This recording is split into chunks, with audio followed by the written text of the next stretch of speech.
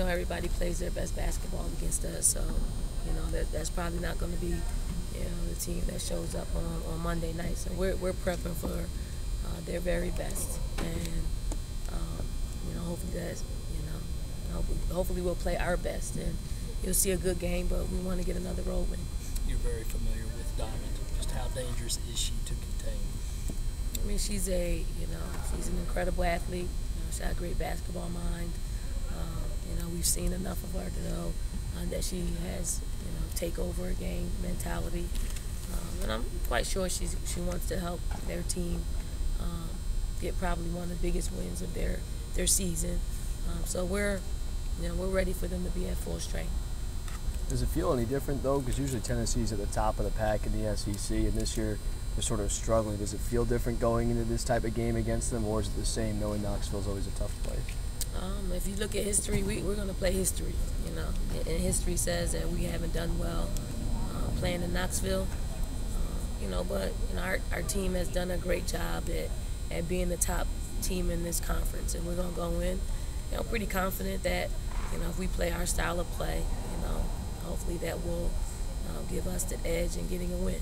Our, our, the bottom line is we want we want to play well. We want to get back to playing more disciplined basketball and if we do that, I think it increases our chances of winning. Have you talked to your players at all about how close y'all are regarding the, championship now, and or do you figure they just know that, or is it unsaid, or does it even come up? I, I haven't brought it up, you know. Um, I, I, think you know overall, you know, this our, our team isn't a team that are, that are mathematicians, so hopefully they're just hopefully just just playing great basketball and wanting to get a win. Um, because if we do that, you know, the numbers game will take care of itself. So we just want to get another win against the top team in our in our conference, and you know, keep moving this train forward. Donna Dozier, okay? So she's out of practice again. Um, uh, she's not playing, uh, but you know, she did some stuff on the side. You know, she's she's in a much better place than she was a week ago.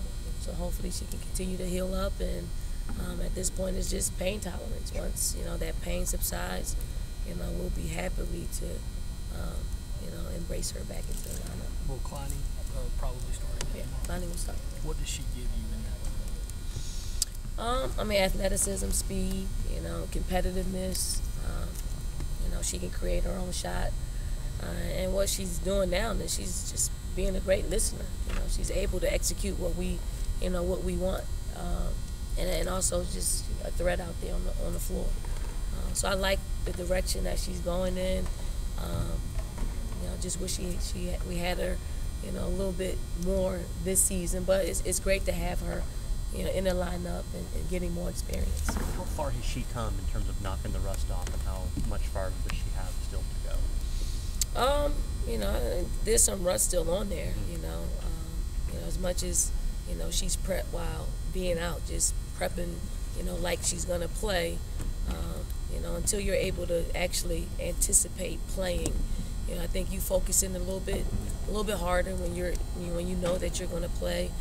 Um, you know, we're, we're we're trying to speed up that experience in here in practices because you'll have, you know, a lot more practices than games. So, you know, we're using, you know, these opportunities in practice to simulate games, and she's doing a, a, a really good job at just you know, um, helping us, understanding what we're trying to do and, and, and executing.